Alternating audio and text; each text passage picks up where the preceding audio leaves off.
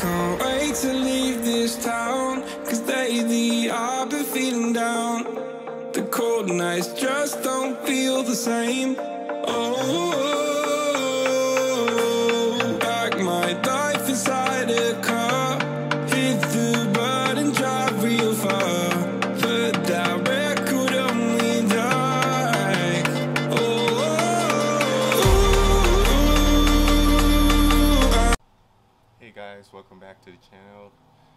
Today's video I would like to show you a trail me and a friend of mine made right out in the bush. We cleared up some bushes and made it like a small trail and I'll show you guys what it looks like and I'll see you guys out there.